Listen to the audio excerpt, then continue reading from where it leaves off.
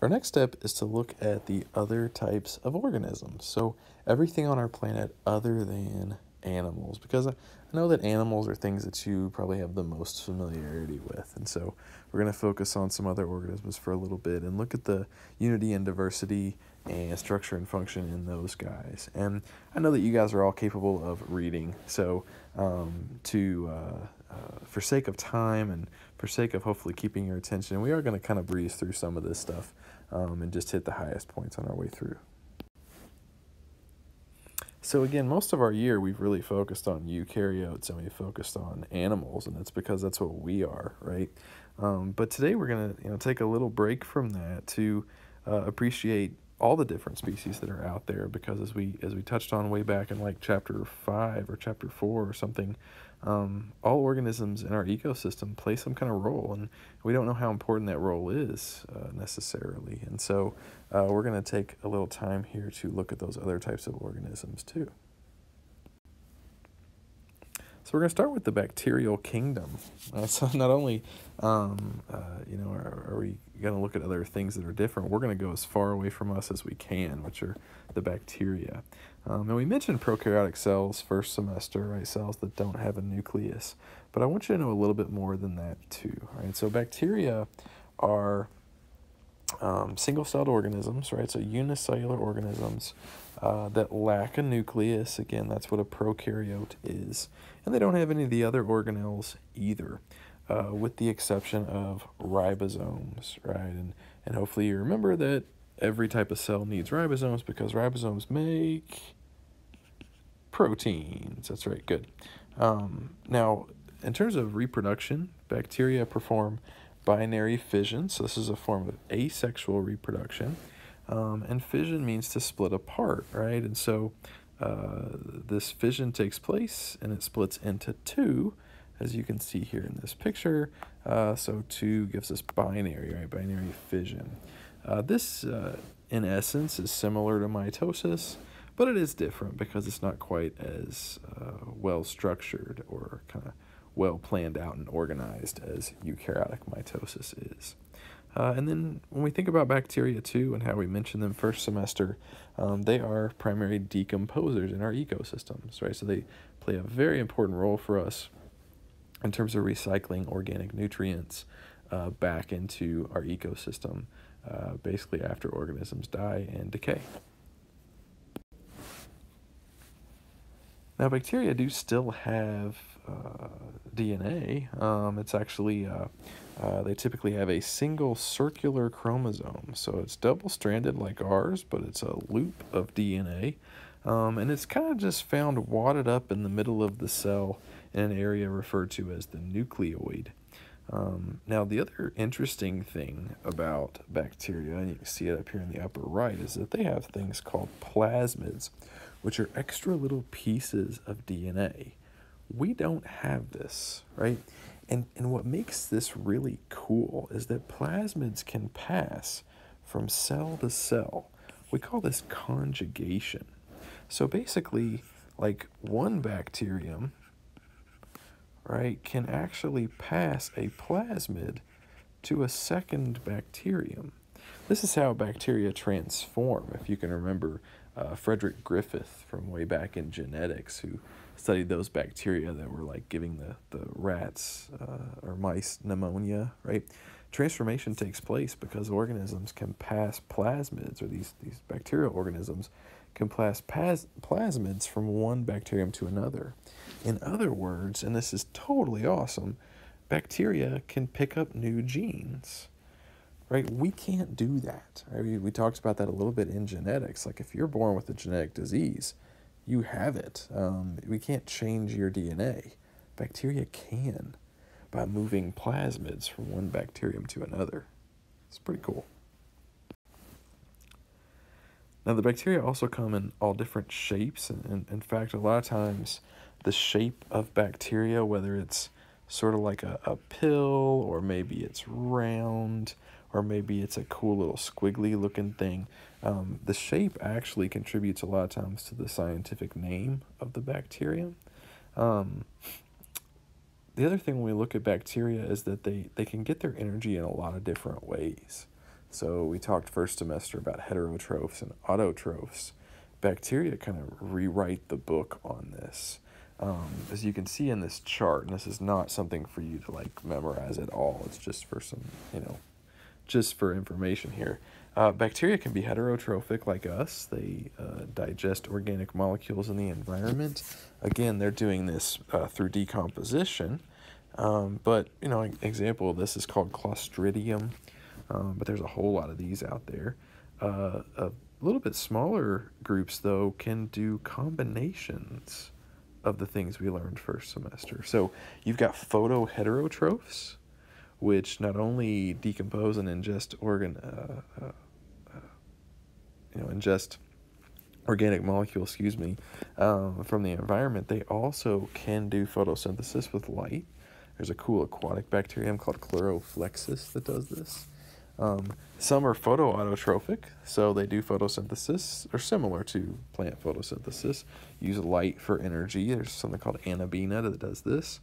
And then others are chemoautotrophic, which means that uh, you know they they can uh, uh, gather energy in a, in a different way, and that's uh, through various chemical reactions that involve sulfur compounds and nitrobacter bacteria that, that grow around root systems of plants, and they will have a tendency to be chemoautotrophic. Now, we can't talk about bacteria and not bring up some interesting information about how they interact with you, right? Um, most people hear bacteria, they think germs, right? Oh, you know, this makes you sick. This is why we wash our hands, all that good stuff. But I want to make sure I, I, I'm doing you a disservice if you leave my class without realizing that the vast majority of bacteria do not infect humans. So, in other words, the vast majority of bacteria do not cause disease. Most of them do other things in our ecosystem that are helpful to us, right? Decomposition being one big thing, but also we have a lot of bacteria on us and in us that we refer to as our normal flora. It's really crazy to think about, but you are made of way more bacteria than you are human cells. There's just trillions of bacteria growing on your skin and in your body right now. And we call this your normal flora, and it's good for you, right? The ones that some people do know about, you know, there's bacteria in your gut right now that are helping you digest food. Without those bacteria, you can't digest food that you eat. Um, you've got bacteria on your skin right now that are keeping your skin healthy. Believe it or not, um, you know, uh, particularly teenage years, I know I dealt with it. You have acne and things. Well, it would be a lot worse if you didn't have good bacteria on your body, actually getting rid of some of those bad ones that try to cause things like like pimples. Um, now, all of that said, and, and that is it's a really important takeaway for me at least that, that you realize that most bacteria not harmful. But some are right? Some can cause disease and we call these pathogens or pathogenic bacteria. Um, now uh, just to name a couple here and, and if this intrigues you there's a whole big unit on this in our biomedical science elective um, but some of the bacteria that are pathogenic and this is a huge list, so just naming five doesn't uh, doesn't do justice here. But um, Streptococcus pyogenes, most of you have probably had before. Right, Streptococcus actually is a reference to its shape, um, and then pyogenes is actually a reference to pus, believe it or not, which is gross, I know. Um, but again, I underlined this on purpose. Most of you have probably had this before. This is what typically causes strep throat and you see that up here in the picture here um, at the top. Uh, second one here, another thing that most of you have probably had before, Staphylococcus aureus is a this cool purple one here. Um, this is a, a, staph infection. Now, a lot of times people have heard of staph infections before, like it's a really bad thing, and it, and it can be. Um, there's also staph that are antibiotic resistant, so they, they are not killed by most of our medicines that we give. But also just realize that staph is on your body right now and that staph is typically responsible for something like a, uh, an infected hair follicle so if you've ever had a little infected hair follicle on your arm kind of like a little pimple thing on your arm maybe on your leg Um, that was probably a really minor staph infection, and then it just clears up and goes away. Um, some other things that I hope you have not had, right? Um, uh, this one's kind of fun. Mycobacterium tuberculosis. Uh, uh, now this, let's see, I believe this is actually this bacteria. Um, uh, this one's weird. Mycobacterium is actually a reference to fungi, right? Myco is a, is a fungal word root. So this is uh, somewhat fungus-like, but I don't think uh, it's too hard to figure out what disease it causes. It causes tuberculosis, right, which is a severe infection of the lungs, and um, you've all had a TB test before, which is a test for this bacterium um, in your body. Um, another one that might not be quite as obvious what the disease is is Clostridium tetani, which is this weird looking guy here. Um, this causes tetanus. Right? So you've also probably had tetanus shots before in your life. Um, tetanus is very scary. This bug, if you don't have tetanus shots, can uh, uh, can cause your muscles to become uh, technically paralyzed, which means um, they are flexed, right, or contracted. So think if you ever had a Charlie horse before. Now imagine if that Charlie horse and your calf muscle that you got was every muscle in your body, and that's what tetanus can be. Um, and the last one is maybe just my favorite name ever, um, Borrelia burgdorferi, which is this weird squiggly bacterium over here. Um, anybody know what Borrelia burgdorferi causes? Causes Lyme disease. Now, somebody out there is like, wait a second, I thought ticks cause Lyme disease. That's not true, right? Ticks just carry this bacteria, Borrelia burgdorferi, in their saliva. And then if the tick bites you, it might kind of implant this bacterium into your body, um, which causes Lyme disease. Now, basically, a, a bacterium is a pathogen if it multiplies rapidly, so if it, you know, multiplies really quickly in your body, and then it creates toxins which damage your cells in some way, and that's the disease that then you exhibit. Now, we can't talk bacteria and pathogens without bringing up viruses, especially under our current circumstances that we are in right now. Um, however, I do want to make sure you realize that viruses are not living things. Viruses are not cells, and technically they are not alive. Um, the main problem with viruses, so to speak, I don't know if it's a problem, but the issue with them in terms of life is that, uh, if you see in this third bullet here, they can only reproduce by infecting a living cell, right, a host, and taking over that cell's reproductive machinery meaning that viruses cannot reproduce alone. All right, so cannot reproduce independently. My handwriting is stellar on this iPad.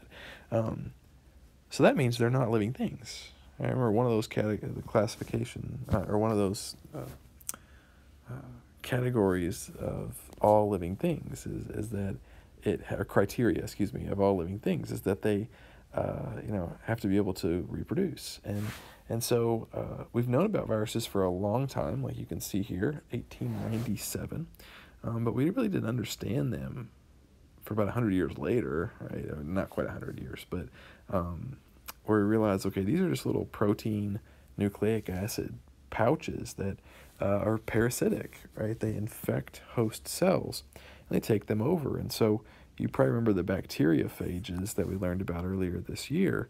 Um, that's what we see in this picture. And what they can do is inject their bacteria in here uh, and use the host cell to create new uh, viruses. All right, and so this injected genetic material can be DNA or RNA, um, but what a virus does is it uses that host cell to make more viruses. And what that typically does is it kills that cell, that host cell, and allows the spread of many more viruses throughout the body. Now, viruses cause disease. Um, they might not all cause human diseases, right? So, like I say here, many viruses cause diseases in humans. Um, a lot of viruses are on our planet and they don't cause disease in us.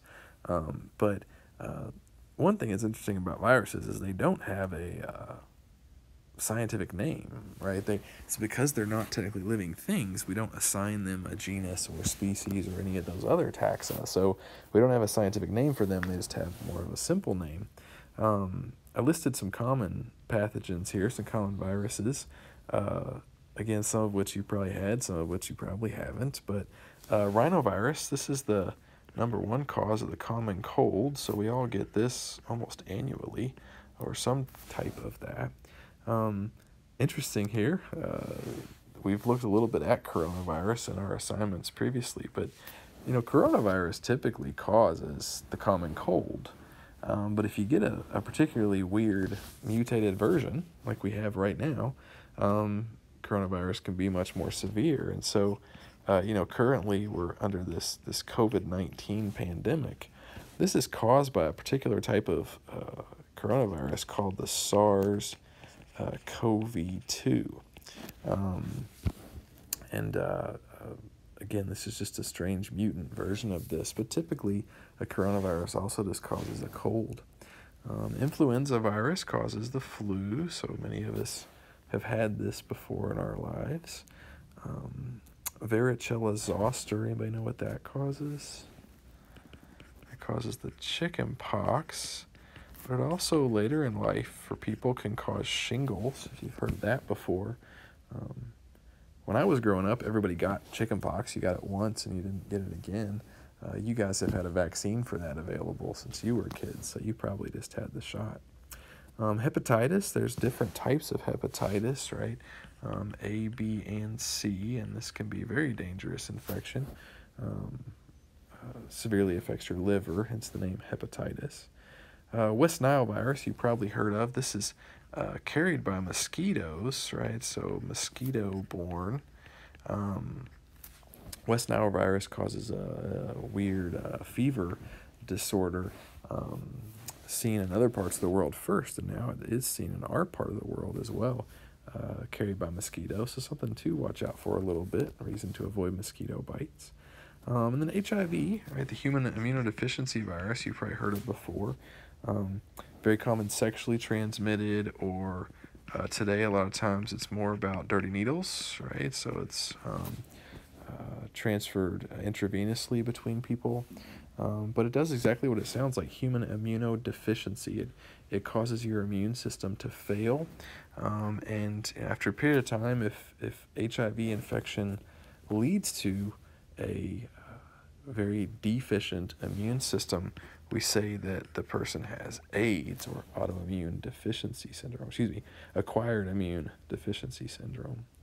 A um, couple other things here in the picture that are interesting. Um, rotavirus causes a kind of diarrheal disease. Um, avian influenza or bird flu. This happened a few years ago. Uh, I think I was kind of a young kid when that happened, but it's an outbreak in Asian countries. Um, Ebola virus you've probably heard of. I think it was 2014 was the big Ebola virus outbreak in Africa. Um, very scary. This is a hemorrhagic fever. Ebola virus can cause you just to kind of bleed out of your pores and, uh, and, and, and causes death in, in most cases. Um, tobacco mosaic virus is something that's studied a lot in research labs. It does not infect humans, it, as it says here, it infects tobacco plants. Uh, bacteriophages, we mentioned uh, previously in class, these also don't infect humans, they infect bacteria. Uh, here's what the flu looks like. And then adenovirus, really common kind of respiratory uh, virus that um, maybe gives people something that feels like a sinus infection and things, but it's a, a viral infection. All right, now I got to move faster here. Um, protists are a unique kingdom. They are, are eukaryotes, and typically what scientists say, this is a strange definition here at the beginning, I know, but protists are eukaryotes that are not plant, animal, or fungal. And now most of the protists are unicellular, but they actually don't have to be. That's usually how we think of it, that the protists are like single-celled microscopic organisms, but they don't have to be. Um, again, it's just that they are not plants, animals, or fungi.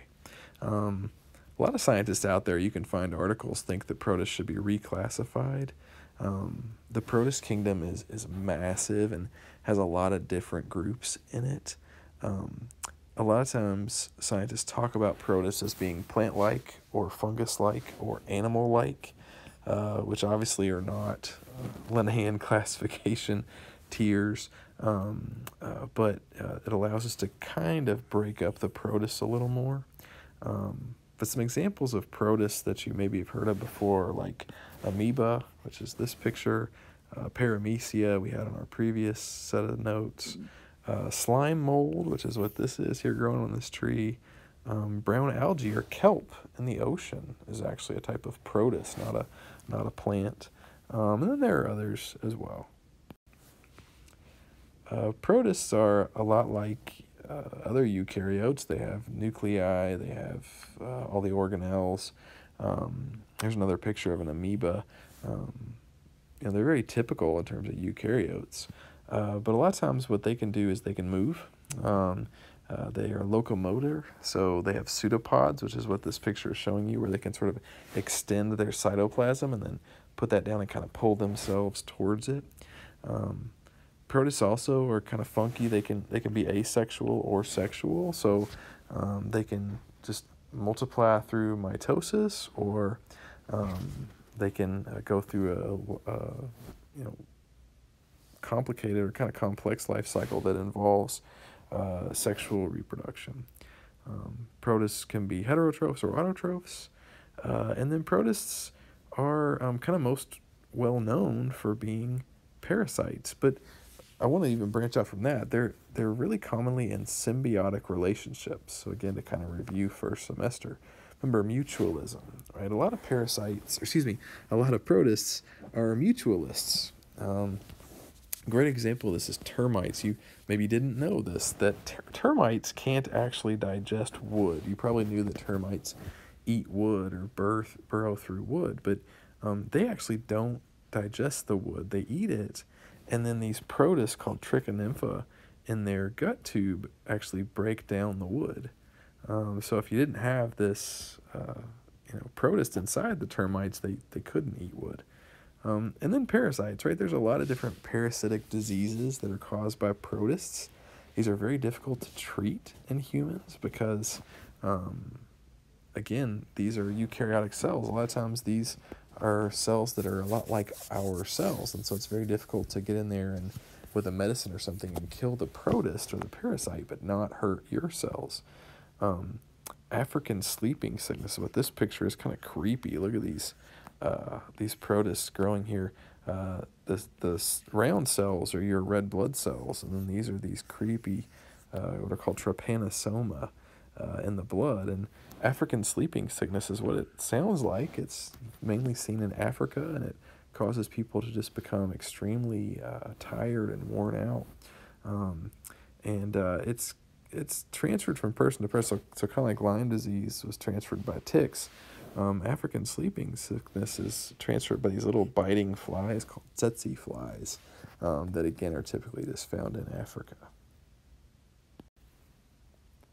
Now the fungi. So we got two to go here: the fungal kingdom and the plant kingdom. Um, fungi we often think of as multicellular, but they can actually be single-celled or unicellular. Um, they tend to grow in the soil, right? So they tend to grow from the ground. Um, and again, fungi were, were found to be different than plants because they were heterotrophs. What fungi do is they release enzymes outside of the organism that digests right, extracellularly, right, digests stuff and then absorbs that stuff. And so fungi are actually sort of like decomposers as well. Um, they break down um, organic matter uh, into smaller pieces and then they absorb that organic matter. So they function a little bit like plants in the soil, but they are not photosynthetic. They are not autotrophs, right? They have to absorb their nutrition. Um, Fungi have cell walls, kind of like plants, uh, but their cell walls have a different structure. Plants uh, are made of cellulose, whereas um, fungal cell walls are made of chitin. Um, if you've heard of chitin before, it's probably not because of fungi, but because of insects. Um, the outer shells uh, or exoskeleton on insects is also made of chitin. Um, fungi are made of unique cells called hyphae, which are long, and and then a mushroom structure, which is what a lot of people think of when they think of fungi. This is actually a reproductive structure. It's called the fruiting body that grows up from an underground micelle or mycelium. Um, and so you can see in this picture here, mycelium is kind of like a root system. It's not roots um, exactly, but a mycelium can be massive too. So, like if you see some mushrooms sprouting in your backyard, and you see some on one side of the yard and others on the other side of the yard, it's probably the same fungus with a massive underground mycelium underneath your yard. That's kind of, kind of weird to think about. Fungal kingdom's huge. Over 100,000 different fungi on the planet. Um, fungi generate spores, which allow it to reproduce asexually. So basically, it releases spores, and then each spore can become a new fungus itself. Um, already mentioned they're decomposers, and then just to keep with the trend here, fungi can also be pathogenic, right? They also can be a little bit parasitic, um, can be known to infect humans. It's kind of rare, um, particularly internal infections of uh, with funguses or fungi are, are really rare. Um, aspergillus is is something that's actually kind of found in the air uh, where we live. Um, and it can cause a respiratory infection or infection of the lungs. It just usually doesn't. If people have a normally functioning immune system, it keeps this from happening. So, actually, in, in the medical world, if you see a patient who has like a fungal lung infection, you probably want to check to see if that patient actually has a deeper issue. You know, maybe their immune system isn't working correctly because for most people that would be weird.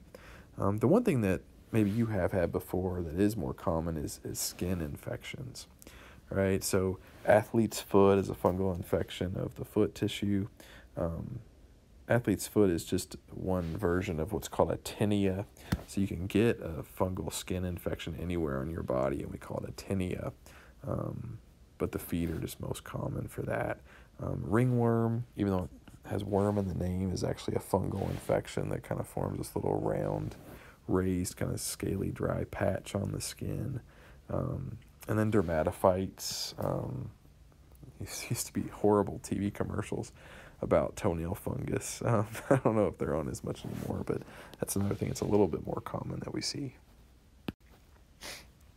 All right, then the, the plant kingdom. So as you can, um, as you'll see here, uh, we're only about halfway through the slides, but I promise I'll try to go kind of quickly through this stuff. But the plant kingdom is is uh, a kingdom that we understand a lot more, kind of like animals, versus the others. Um, here's my man Groot um, that my wife and I got to meet at Disneyland back before all this crazy stuff happened. Um, it's really cool. It's probably the coolest Disney character I ever met because this dude, as you can tell in the picture here, this dude's like eight feet tall. Um, so I think he was on stilts or whatever. And then he would talk. He would just say, I am Groot over and over again, but it was really entertaining. Um, now, plants are uh, multicellular eukaryotes. They have cell walls made of cellulose. As you guys already know this year, they carry out photosynthesis using chlorophyll. Um, you know, but uh, originally, you know, we think plants are older than animals, right? They originated on uh, or in, in aquatic environments, and so probably originated when the earth was completely covered in water. Um, and then over time, talking millions of years here, the, the, the plants evolved to have water collection systems. I mean, they didn't have to be fully aquatic anymore, but that they could grow on land and just have systems that allowed them to gather water from their surroundings. Now, the plant kingdom is kind of different. Um, doesn't always necessarily use the Linnaean system to break things down. So we're not going to use the Linnaean system to break it down either. Um, botanists or you know scientists who study plants uh, typically break the kingdom into five groups, uh, and those groups are, are based on basically how um, the plants are structured and how they function. Um, and so, uh, as this picture kind of indicates, uh, we also kind of think that uh, these are grouped based on uh, their uh, kind of evolutionary development. And so the kind of oldest plants that have been around the longest are the algae, uh, followed then by the mosses, or what are technically referred to as bryophytes. Then we have the seedless vascular plants or ferns. Then we saw the development of seeds uh, through evolution, which gave rise to these last two groups, um, which are the gymnosperms, which uh, form seeds on cones, and the angiosperms, which form seeds uh, in flowers and fruits. And so, again, this isn't exactly like Linnaean classification, but it does allow us to kind of break things down still. This slide is really important um, and, and looks at something that's really unique, which is the plant life cycle. The plant life cycle is referred to as alternation of generations, and you can expect me to ask you something about that coming up soon. Um, alternation of generations. This is very different than our life cycle, right? So for humans, again, and for mammals, really, we we are a, a diploid organism, right? And we will create haploid cells strictly for reproduction. All right, so we will form sperm and egg that we can then use uh, for fertilization and for reproduction. Plants are totally different. Plants actually have two different life stages a diploid stage or a diploid organism called a sporophyte, and a haploid stage, a multicellular haploid organism called a gametophyte. Isn't that weird? It's almost as though you would turn to something different at a certain point in your life if you had something like this in the, in the human life cycle. So if you look at this picture, right, uh, a sporophyte, which is diploid, will create spores, which are haploid, and that through uh, uh, mitosis, right, will create what's called a gametophyte. Now, then the gametophyte will produce sperm and eggs, which will come together to form a new diploid sporophyte. So that's weird, right? And I don't really like where this is positioned. Meiosis is happening here, right? So the sporophyte does meiosis to give rise to spores those become gametophytes, which then come together in fertilization to form a new sporophyte. Um, this is crazy, right? Uh, in a lot of today's major plants, things you think of, right, like a tree in your backyard, for these guys, um, typically what you are seeing is the sporophyte, right, the, the diploid organism. Um, and the gametophyte is just a, a structure within that plant. Um, so like anything that flowers, right? The gametophyte is actually just going to be a, a, part of the flower essentially. Um, but if we look at some of these more ancient plants like mosses, which you might also have growing around your property, um, mosses are kind of cool. The the moss itself, the really you know low lying kind of green stuff that's growing on a rock, that's your gametophyte. But then what moss will do at certain times of the year is it'll grow these little vertical shoots, which are the sporophytes. It's a separate little uh, organism, basically, which can then release spores and give rise to new mosses and stuff. Uh, now, algae, most ancient plant, we think. Um, this is typically unicellular, right? This is still aquatic. It cannot grow on land. Um, it can actually divide asexually or reproduce sexually. Um, seaweed, believe it or not, is um, is uh, technically an algae and is one of these ancient plants. Even though a lot of times it looks a lot more multicellular. Um, also, some things that we can look at microscopically are called volvox and spirogyra. Uh, then we go a little further into evolution and we see the bryophytes, the mosses and worts. Um, these are land plants, but they don't have true vascular tissue. They don't have tubes inside. So they have to have really close contact with water. So what you're going to see is that mosses and, and the worts, like hornwort, liverwort are going to grow right on the forest floor. They're going to grow right on rocks like this because they're just going to do this little covering where there's moisture. Um, and in this picture you can see here on the side, they've got these little root-like things called rhizoids, but they don't actually have roots.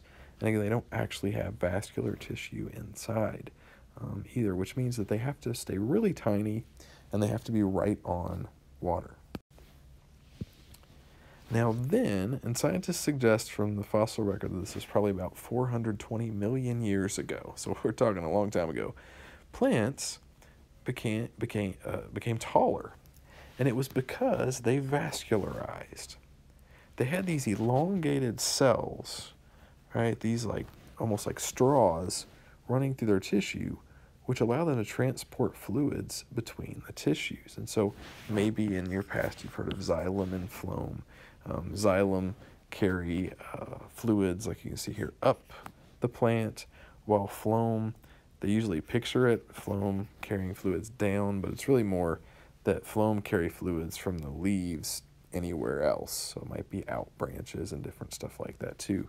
Um, but xylem definitely carry fluids up from the root system into the other parts of the plants.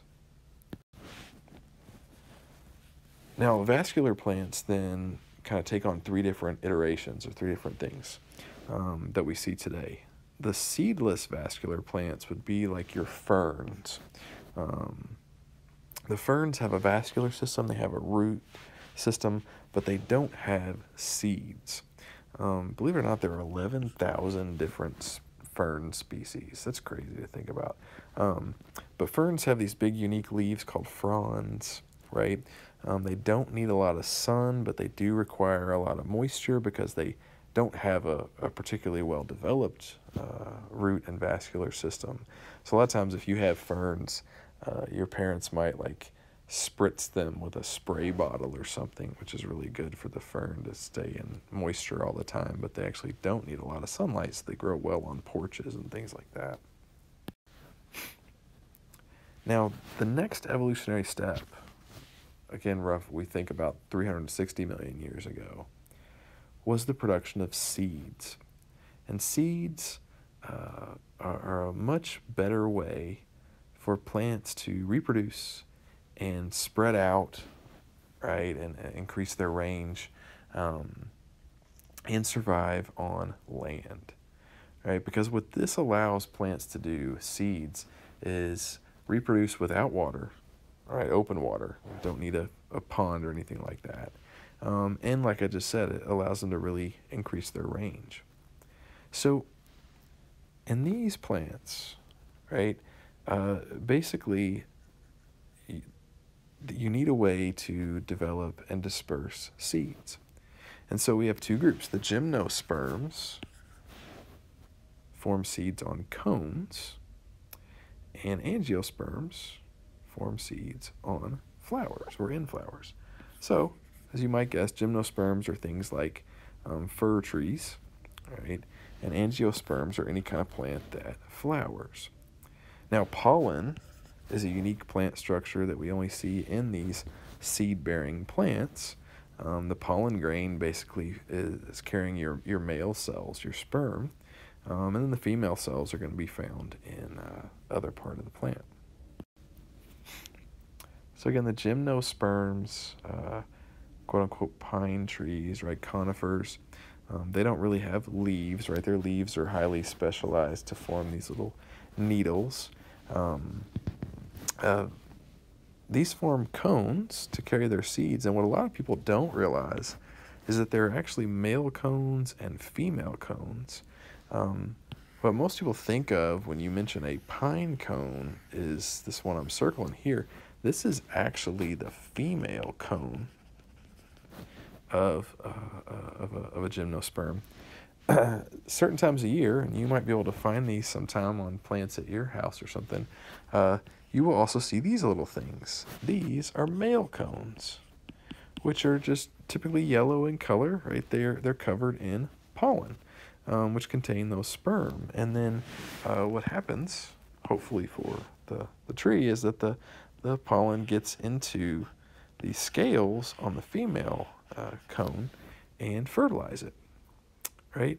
And so if the uh, pine cone gets fertilized, then a seed results and it kind of flakes off of the scales and can then fly um, you know off somewhere else to hopefully give rise to a new tree um, a seed if you're curious is technically a new plant right a little embryo along with like a food supply and then it's covered by a coat and so it doesn't have to stay damp, right? Um, seeds can be dry and then they get uh, deposited. Um, and when they're then exposed to water, they can germinate, as we call it, and a new plant can pop out. Now, the angiosperms, we actually mentioned uh, flower anatomy back when we talked about Gregor Mendel, um, but the angiosperms are the flowering plants. And so they're going to have both male and female parts within the flower. Um, so, just in, in review, the stamen uh, is the male, uh, or the stamens are the male parts of the flower. There's usually multiple stamens.